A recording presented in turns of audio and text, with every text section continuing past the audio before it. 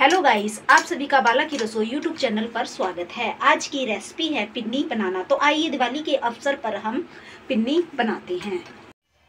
आटे की पिन्नी बनाने के लिए ये हमने 500 ग्राम आटा लिया है और 400 ग्राम हमने ये खांड ली है, देसी खांड ली है 400 ग्राम ही हमने घी लिया है और ये हमने थोड़े से बादाम को कट कर लिया है, थोड़े से काजू को कट कर लिया है, किशमिश को भी मैंने कट कर लिया है और ये थोड़े से हमने मगज लिए हैं, ये हमने आधी कटोरी गोंद ली है तो आइए बनाते हैं पिन्नी। ये मैंने कढ़ाई को गैस पे रख दिया है, अब मैं इसमें से घी डालूँगी, थोड़ा सा घी मैं बचा लेती हूँ।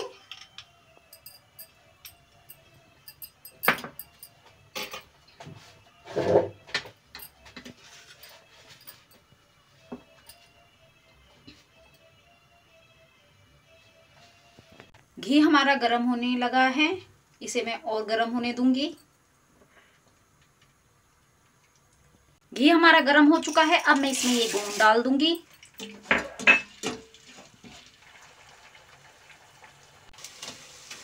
और ये हमारी गोंद फूल चुकी है।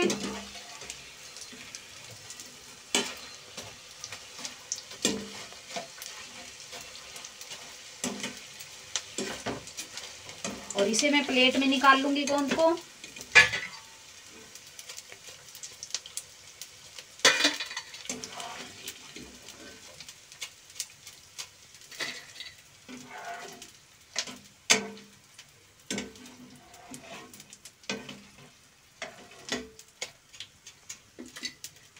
इसके अंदर ये 500 ग्राम आटा डाल दूँगी।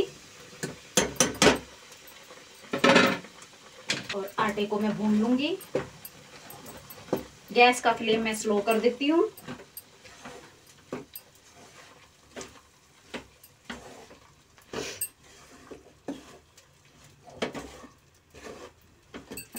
अब मैं इसमें घी और डाल देती हूँ। हमें थोड़ा थोड़ा करके ही घी डालना है। एक चम्मच के आसपास मैंने बचा लिया है।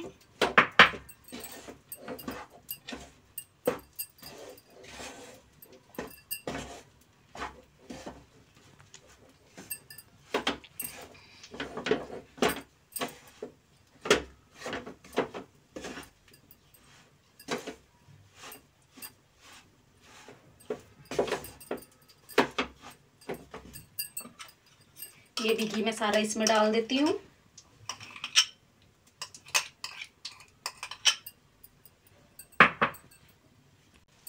और इसे फिर से मिक्स कर लूँगी मैं।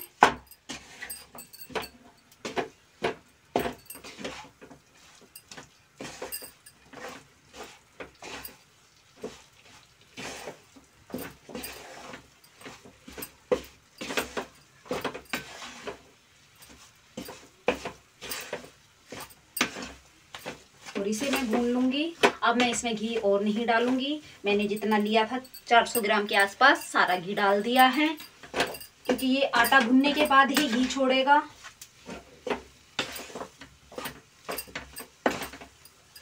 अब मैं इसे अच्छे से भून लूँगी।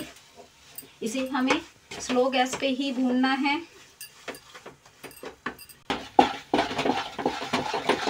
ये हमारा आटा घी छोड़ने लगा है। और इसे और भूनने देंगे हम।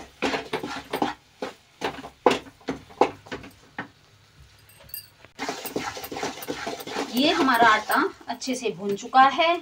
अब मैं इसमें ये ड्राई फ्रूट डाल दूँगी, काजू, बादाम और ये मगज डाल दूँगी। किशमिश मैं अभी नहीं डालूँगी।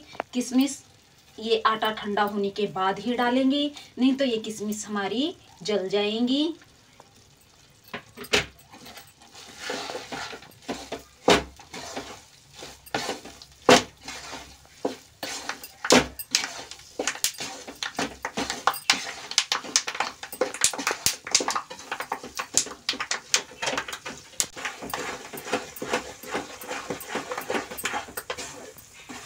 ये हमारे बीज भी अच्छे से पटाके मारे हैं इसने, और इतने अच्छे से भून चुके हैं बीज भी हमारे। अब मैं गैस के फ्लेम को बंद कर देती हूँ, और इसे अभी भी हम हिलाते ही रहेंगे। नहीं तो कढ़ाई हमारी गर्म है, नहीं तो ये नीचे लग जाएगा।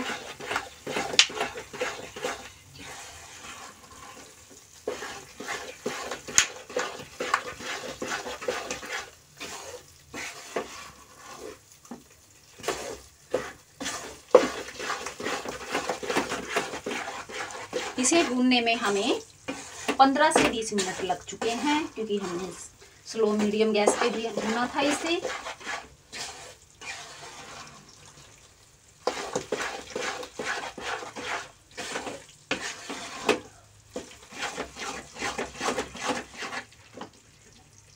अब मैं इसे गैस के नीचे उतार लेती हूँ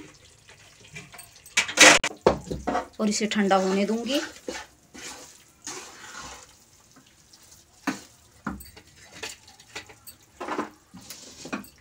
और ये गोंद है, इसे मैं हाथ से क्रश करके इसी के अंदर डाल दूँगी। ये बिल्कुल आसानी से क्रश हो जाती है, देखो। मैं इसे ज़्यादा क्रश नहीं करूँगी, क्योंकि इसे लड्डू को खाते हुए मुँह में आता है तो बहुत ही अच्छा लगता है इसे। अब मैं इसको इस कढ़ाई के अंदर डाल दूँगी।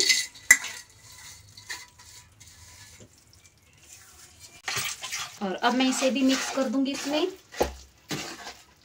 और इसे मैं ठंडा होने दूँगी। ठंडा होने के बाद मैं इसमें पूरा मिक्स करूँगी। अब ये किशमिश भी डाल देती हूँ।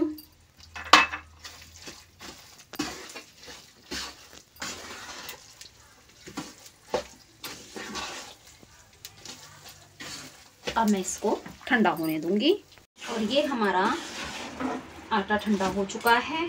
अब मैं इसमें ये देसी खांड डाल दूँगी। और इसे भी मिक्स कर लूँगी मैं।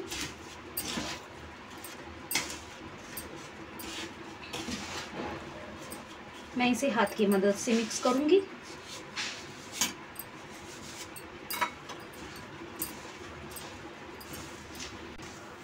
और इसे अच्छे से मिक्स करूँगी मैं।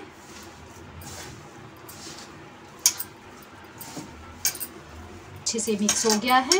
अब मैं पिनिया बना लूँगी। ये देखो पिन्नी हमारी कितने अच्छे से बनकर तैयार हुई है। मैं अभी इन्हें प्लेट में रखती जाऊँगी।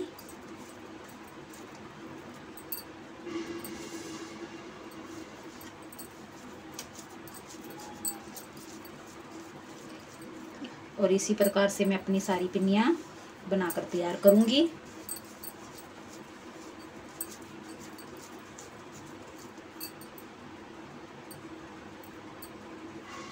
और ये हमारी पिन्नियाँ बनकर तैयार हो चुकी हैं। अगर हमारी वीडियो आपको अच्छी लगी तो लाइक करें, शेयर करें और सब्सक्राइब करना ना भूलें। धन्यवाद।